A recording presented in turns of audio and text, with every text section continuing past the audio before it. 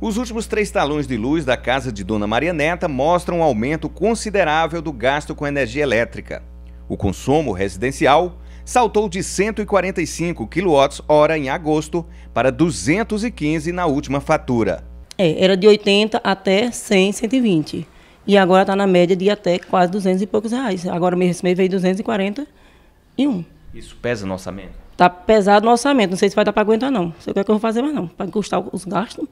Estou fazendo de tudo, cortando quase tudo. Maria Neta diz que já adotou uma série de estratégias no sentido de reduzir o valor da conta de energia.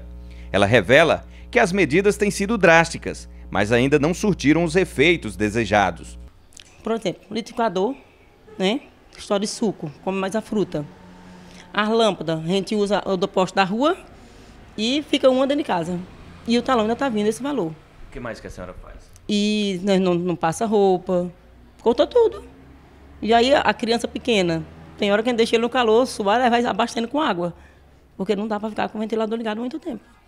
Danilo Lemos, líder de obras e manutenção da Equatorial, destaca que no município de Picos, o consumo de energia elétrica aumenta em torno de 20% no período mais quente do ano. A empresa, na verdade, ela vem é, trabalhando de modo tentar chegar nesse problema da maneira mais aliviada possível, com realização de obras, como divisão de circuito, troca de cabos, para tentar minimizar o dano causado nesse período que há uma devida sobrecarga devido ao aumento de consumo de energia que é natural devido ao calor.